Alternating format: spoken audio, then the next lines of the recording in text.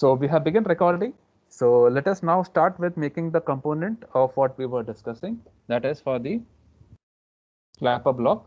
Now the first step that we do always, can do one of you tell me what is the first step that we need to start with in Inventor?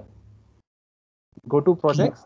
We project. need a project file. Now I see la- till last week we were working with Pulpo. That is why the project name twofold use. That is a default project file which is now active. But we want to create a new project file with this name clapper block. So I will click on new and uh, single user. So go to next. Uh, I will give the project name. So the project name will be clapper block. And uh, they're asking me where to save this. So you see this name a project workspace folder. So uh, this is not where I want. I will change the location. I will go to browse. I will uh, locate where I want to save that, which is currently F drive. So my SAP ID and the SAP ID. I will make a new folder with the name Clapper block. Yeah, and then I will click. I will select that folder and I will click on OK. So you see the path has changed now. The path is directly F drive, my SAP ID and to the location in Clapper block. So I will go to next. So I will click on finish and my Clapper block project is set. So I will I will click on done and I can actually cross verify here from the projects by see This is selected now clapper block which means the project file is currently at clapper block. So all parts that I am now going to make will be saved as clapper block. So we will begin with some simple components which are very easy. So the first component with which we will begin is we will start a pin. Pin as you see it's a simple cylinder with 100 mm in length and diameter in 13. So the procedure is we create a circle with diameter 13 and then we extrude that sketch to a length of 100 mm. So let us look at how it is done. I go to file, new, new and from here let me select metric, metric में standard mm IPT and then I can click on create. So we will wait now for the system to be ready for drawing these components.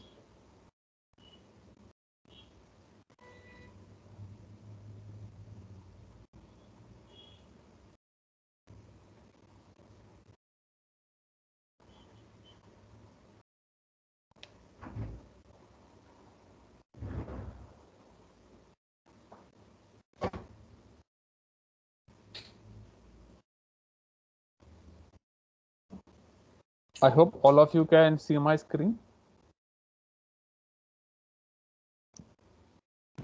Yes, sir. Uh, just kindly do not do along with me. Pause whatever you're doing and just pay attention and then later on you can complete the work.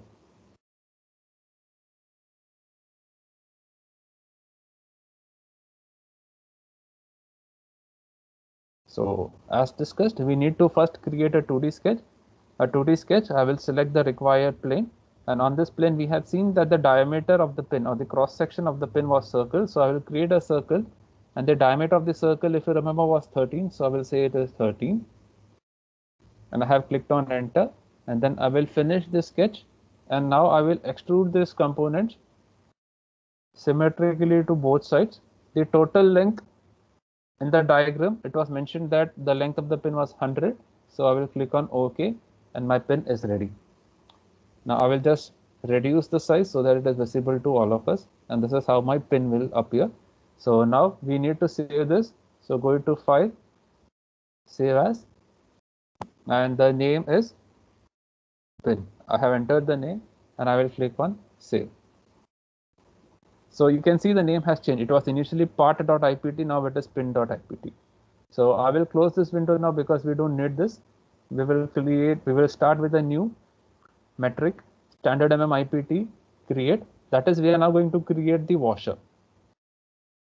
So let us look at the dimensions of the washer. So washer uh, consists of two, matlab we have the outer diameter of the washer to be 60 mm, inner diameter of the washer to be 30 mm, and the thickness of the washer is 9 mm as shown on the side view. So let us do this in Inventor. Sketch, selecting a plane. Now I will draw two circles over here simultaneously. So I will specify that this diameter is 60 mm, and I will draw one more circle concentrically and the diameter of the circle is 30 mm. So this represents the inner diameter and the outer diameter of the washer and I will finish my sketch and now let me reduce the size Okay. And now I will extrude this sketch uh, symmetrically to both sides. The total thickness of the washer was mentioned 9 mm, so I will specify it here. Uh, so I hadn't selected the profile, so I will indicate that this is the profile. And now you can see that the thickness is applied and I click on OK. So we will save this file again. So file, save as. So kindly note before saving the name of the file was part 2, but now I will give it a name. This is washer. And when I click on save, the name of that file has changed and it is washer.ipt. So now I will close this and we will go forward to drawing the next component. The next component which we will do is the drag and release plate. I will just zoom this so that the dimensions are easy for all of you so that all of you can view the dimensions. Yeah. So as discussed, we will first try to complete the front view that you see. So that this arc we know is 108 in radius, which means the diameter will be twice of this, which is 216. And then we will draw two lines to specify this outer edge, uh, outer edges that you see, and we know the distance between them is 63. So let us go forward. New. Standard MM IPT, clicking on create. OK. 2D sketch, selecting the appropriate plane. I will just reduce the size. Yeah, so we will now draw a circle. We know the radius of the circle was 108, so the diameter is 216. The circle is out of my view, so I will just reduce the size once again. So I will use the second command zoom all. Now we will draw two lines as discussed. That is, we are going to show this outer edges of this release plate as there and the distance between them is 63. So I will simply draw a line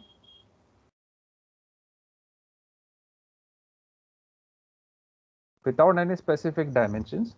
I will draw another line on the other side also.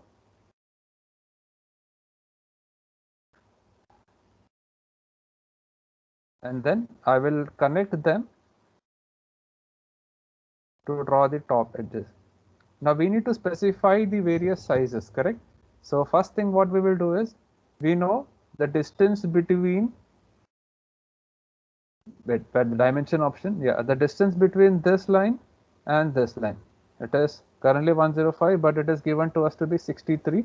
So I click on enter. I will just verify that it is 63. Yeah, it is shown from here that it is 63. So it is we have entered the correct value. But now you see the, the sketch has been offset.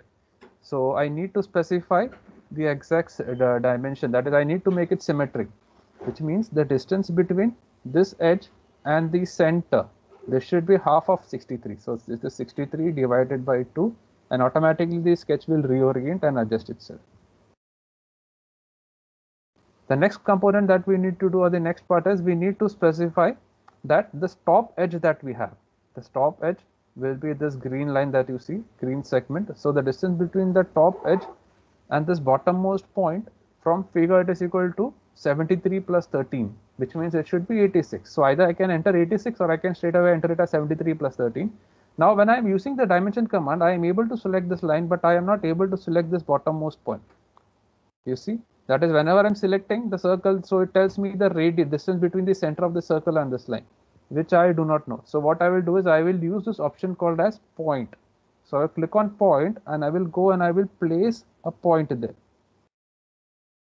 So after I have placed a point, now I will specify the dimension between this line and this point that I have placed and this is equal to 73 plus 13 or 86. And so my sketch is ready. Just to confirm now, so this is 73 and 13, which is 86. So I will now trim out the unrequired portion. So using the trim command, I will trim away this portion of the circle. And also I will trim away this portion of the line which is extending and the other vertical line which is extending below beyond the arc. So my sketch is ready. I will finish this sketch. Let me reduce the size. Okay. So we see from this figure the thickness of this sketch. So the total thickness of this sketch is 30 mm which is specified here. So I will extrude this sketch for 30.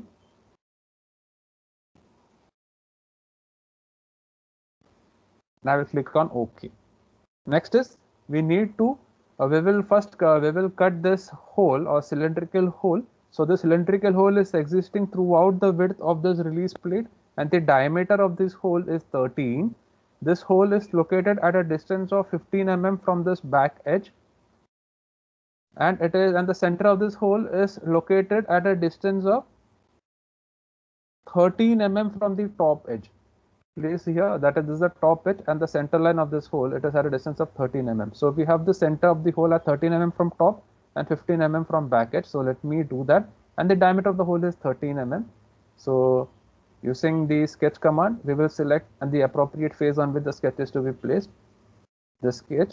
And let me place the circle for the hole. The diameter of the circle is 13 and let me zoom it first so that it is visible to all of us. I will just, okay, now dimensions. So between the center is at a distance of 13 mm from the top edge. So I will specify that this is 13 and it is at a distance of 15 mm from the bottom edge. Uh, from the uh, side edge. So it is 15 from the back edge. So we've done that. Finish extrude. The total distance to which we had to extrude, I will specify that this is the sketch. Yeah, and uh, we have to cut that material and to a distance of 63. How did we get that 63? We have got that 63 because we know the width is 63, which is read from here. A component is partly ready. Now we need to complete these two circular slots that you see. So before doing that, let me complete this fillet. This fillet has a radius of 15 mm as we have discussed.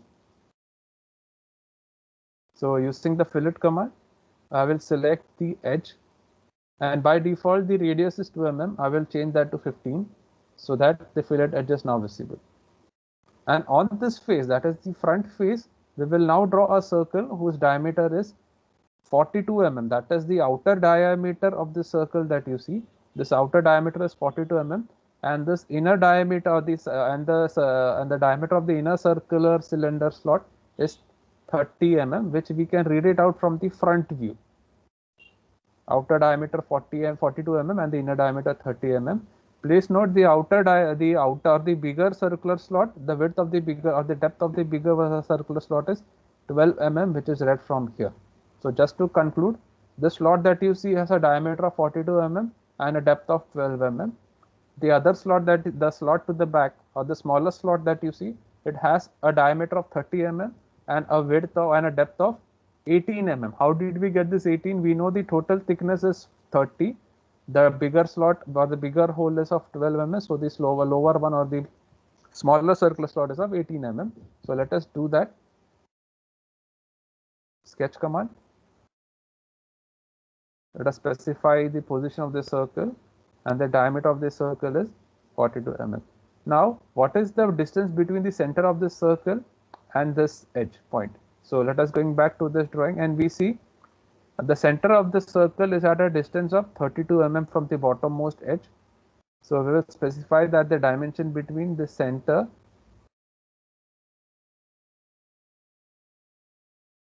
So I am not able to pick that center. So I will place a point over there using the point command. And now we will specify the distance between the center and this new point that we have placed and that we will say it is 32. To confirm if it is 32, yeah, it is 32. Now we will finish this sketch. We will extrude the sketch. We want to cut the material in the back direction to a depth of 12 mm as was mentioned. Now on this face, let us sketch the smaller circular slot, the diameter which was 30 mm. So finishing and we will extrude it, cut the reverse direction to a depth of 18 mm. So let me, our component is ready now. I will just zoom it.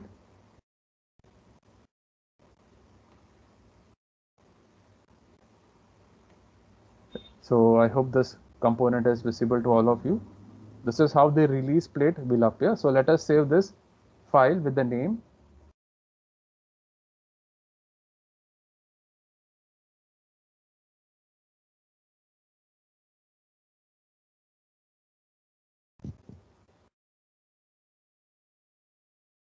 So we have done with the drag and release plate. Now we will go to the new component, st metric standard mm IPT. That is, we want to create the clamp. Sir. Uh -huh. Sir. Tell me. Can you show that drawing once again? That show. Can you show that previous part once again? Uh, wait, the let saved me one part. We will complete these components and then we will stop the recording and then we'll open it once again so that we get a complete flow of the different components in totality. Okay, okay. So we are now interested in completing this clamping screw. So while drawing this clamping screw, first we will start with this cylindrical, that is the cylindrical portion whose diameter is 12 mm and the width is 6. Then we will draw this threaded uh, cylindrical portion. So we will start with the base. So sketch on this plane. Let us draw a circle whose diameter was 12 mm just to cross verify. So the diameter is 12 and the depth is 6. So we will finish this sketch and we will extrude this sketch to a width of 6 mm. So we have 6. Now on this face, we will sketch another circle we had mentioned that this threaded portion has an outer diameter of 16 mm. So let us sketch here on this face a circle whose outer diameter is 16.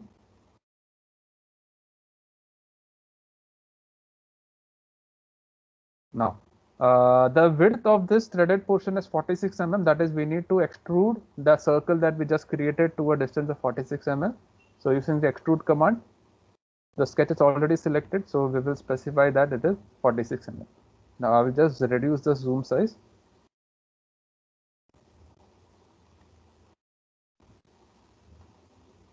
Okay. We will go forward from here now we have to draw this. That is uh, we have a square section and we have a circular cross section so we need to have a smooth transition. So to do that we will use the ready-made command that is available in inventor so before that, we will first make a plane which is at a distance of 4 mm from this particular face.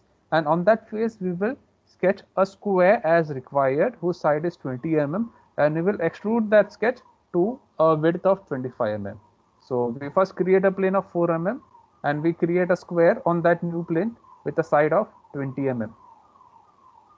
So going to the plane command, the, we want this plane to be offset by 4 mm so let us select this face. So 4 mm we have specified. Now let me just slightly rotate to show you this. Yeah, so the plane is at a distance of 4 mm from the uh, from the circular plane that we just specified. And now on this plane, let us make a new sketch. So I will select this work plane and we need to create a square whose side is 20 so now let me specify the dimensions that this is 20 uh, and the other one it's also 20. So we will finish this and we know this sketch had a width of 25 from drawing. So I will say 25. Now the sketch is not selected. So I will select the profile which is required and then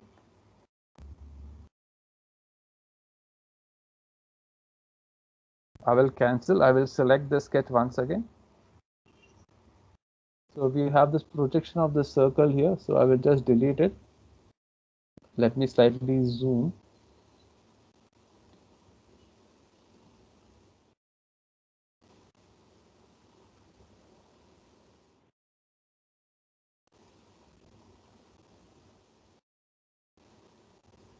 Let me go to the sketch and I will delete the circle from here.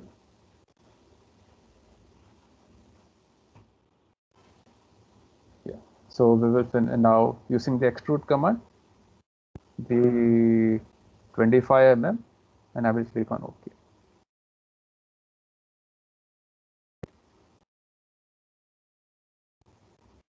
Now, so you see we have this square cross section and we have the circular cross section and we want the transition between them to be smoothly done.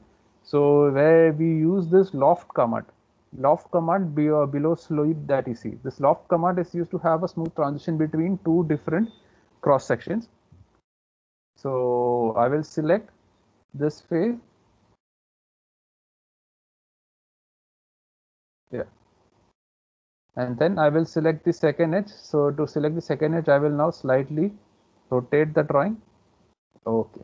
So and then I will select this edge.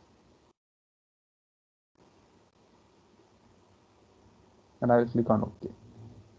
So now you see we have a smooth transition surface from the square section to the circular cross section.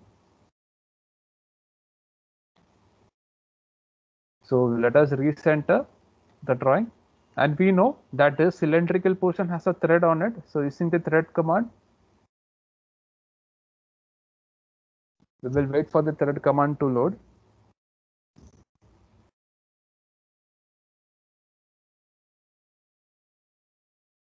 So we will select this face.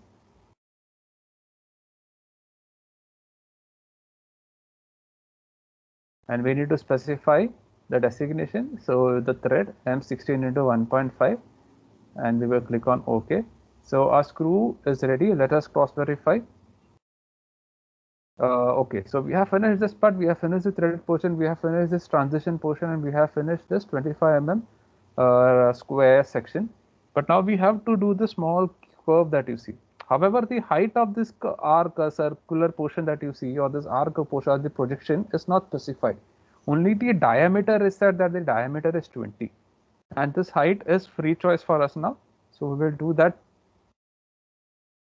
So we will uh, do so using a 2d sketch we will select the appropriate plane on which it is to be noted. That is what we are going to do is we are going to draw a 2d arc sketch and we are going to revolve it around the central axis.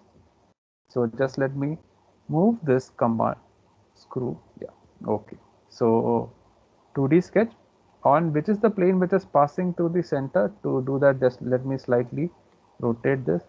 And just let me see which is the plane which is passing through the center of this diagram so yes the xz yz plane you see it can be passing through the center of the component that is there. Xy plane will also work for us but this yz plane is lying at the bottom which is not of none use to us. So either you can select this yz plane or xz plane. Let us select the yz plane. And on this yz plane let us draw an arc. So using this uh, three point arc, so I will specify the three points for the arc one, second, and the height of this arc as required. Now they haven't specified any height, so we will arbitrarily specify that it be. We will just stop it. This is we have done this arbitrarily. Now using this line command, I will join this portion and this and I will trim away the other area or uh, the other portion of the curve so that now I have a 2D sketch of an arc and I will revolve the sketch around this axis. So let me finish this drawing. And now we will use the revolve command to revolve the sketch around the selected axis. But uh, the profile was not selected so we will specify the profile. And now I will just show this once again. Using the revolve command let us select this profile. The profile is selected. Let us specify the axis. The axis is specified. And I click on OK. And a component is ready. Sir, what height did you take for that arc? Uh, you can take arbitrarily, they haven't specified, so that is your free choice. You need not take what I took. You can take your own, which okay. you feel is good. So now we will save this component, going to file, save as, the name of the component which was clamping screw and I click on save option. Let me close this file. I will open uh, so we will start with the new component new part now so new metric standard mm IPT click on create option click on OK so now the component that we want or now the we are to draw this tool holder component or the part with the name tool holder. So we will draw the sketch as discussed in That is first we'll draw an outline half sketch and then we'll specify the dimensions and then we will revolve that sketch around the central axis to have this component. Let me just uh, track this so that all dimensions are visible. Okay. So just give me two minutes. Let me connect my charger.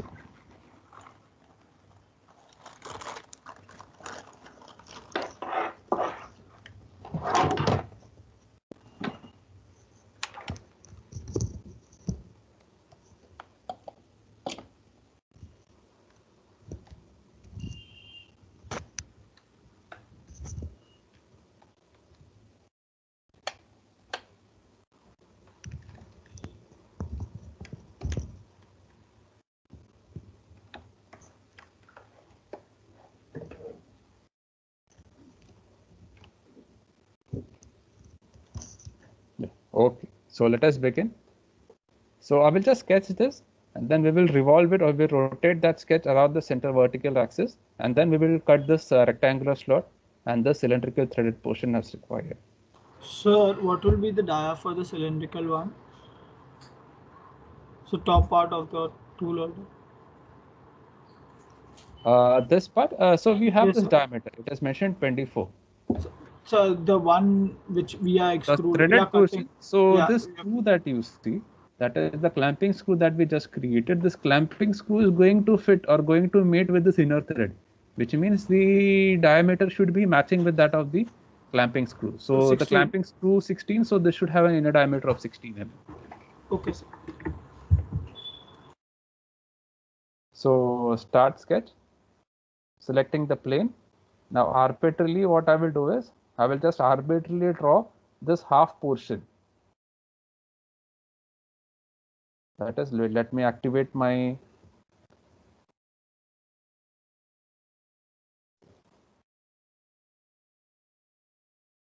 So yeah, take a snapshot command. Yeah. So arbitrarily, I am just going to true draw this sketch now. And then after arbitrarily drawing it, I will specify the various sizes and then we will rotate it. So going back to inventor, using the line command, starting from here.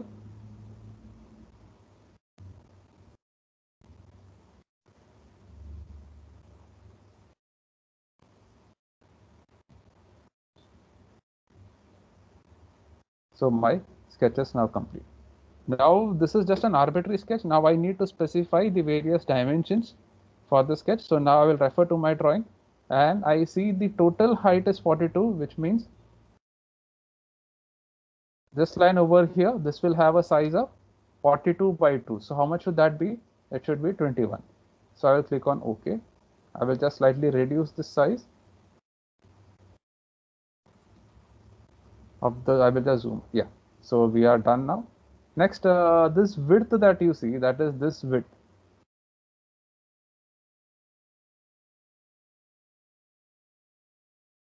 So it is specified that it is 10 mm here. So now I will go to inventor and I will specify the size to be 10.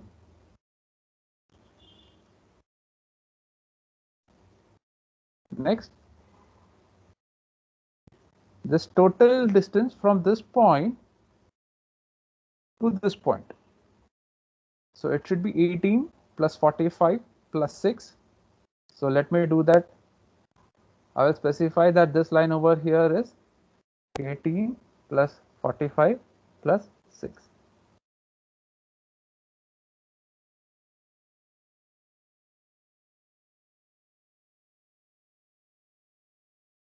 Next is uh, the outer diameter is 24, which means this line over here or this portion, this will have a height of 24 by 2, which means it should be 12. So the curve, the drawing has slightly just gone out of shape. That's that. That will automatically recorrect once I specify the distance between these two areas. So we know this uh, diameter of this the circle that you see. Yeah, a diameter of the cylindrical portion is not directly specified to us. However, we know that this is going to fit into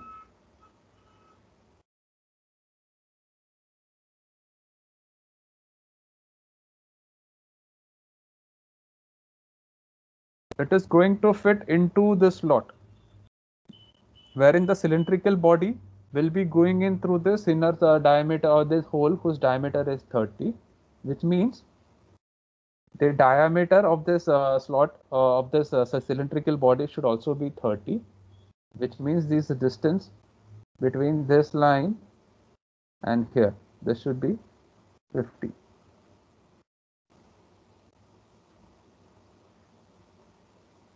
then uh, we know the total the last dimension that we need to specify.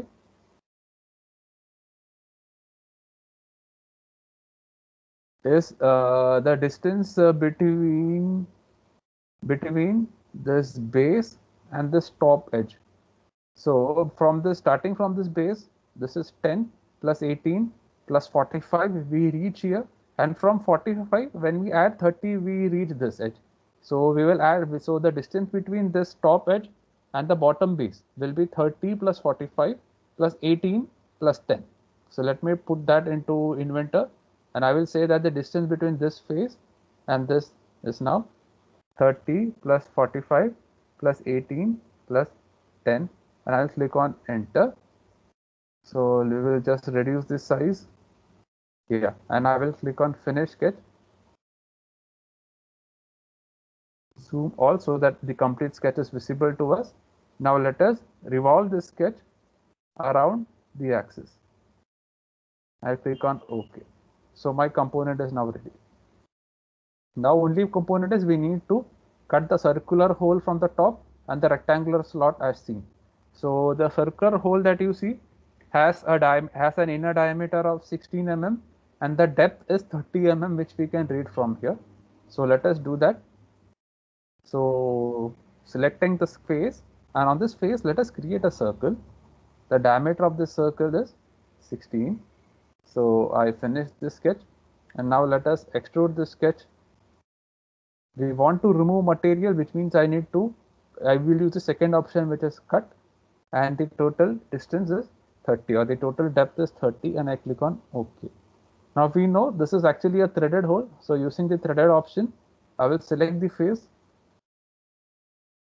So this face and now I will specify the designation. It is M16 into 1.5 since we have used m16 into 1.5 for the screw so we will use the same designation of the thread for this inner threaded area that you see and I will click on apply. Now the last component or the last part that is remaining in this particular component is this rectangular slot.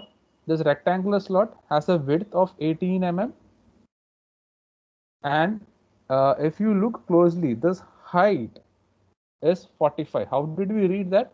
just comparing the front view and the top view. Here you see the distance between this edge and this edge. It is 45 that is we need to create a circle we need to create a rectangle whose size is 45 by 18 places symmetrically along this axis that you see and we need to specify the distance of this bottom edge of this rectangle from the bottom edge. From this bottom edge the distance of this bottom edge of the rectangular slot will be 18 plus 10 which is 28 so let us create a rectangle on this axis which is which is by of 18 by 45 and at a distance of 28. So first we will need to select that plane which is passing through the center. To do that, I will check which is the plane. So YZ plane is not of use. XZ plane is passing through the center of the component. So I have selected that plane. Now I will just rotate it slightly. Yeah. Now what is happening is the plane is at the plane is in between and there is some component which is there in front of that plane. That is why we are not able to do that is even if I draw a rectangle like this on the place it and specify. So what was the size now? If you remember, it was the width was 18 and oh, sorry, this was 18 and the other size was 45. So my rectangle is ready but it is placed on this plane which is passing through the center and there is material in front of this plane that is why I cannot see that plane because I now need to specify that this rectangular slot which I created of 18 by 45 is at a distance of 28 from the bottom base. So to do that I need to hide the portion in front. So I will go back to my sketch and then I will just uh, rotate this. Yeah, and then I will use the F7 command as discussed yesterday so once I am using the F7 command, the portion in front or the component uh, in front of that plane is hidden temporarily. And now I will specify the dimension between this and the bottom face which was 28 once I have done that I will finish this sketch. Now I will use the extrude command. Extrude command may the uh, latest sketch is all or default selected. We want to extrude it to both sides but we don't want to add material. We want to remove material. So we use the cut command and simply we do not specify the dimension i will just use. Instead of distance we will use all this option. So that it just extend throughout all surfaces that is intersecting and i click on ok. So our component is now ready.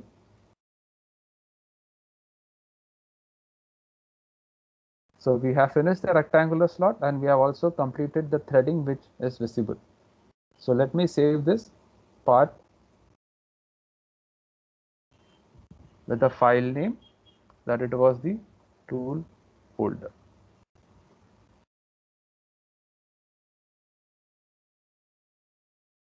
So I will stop this recording and I'll upload this later on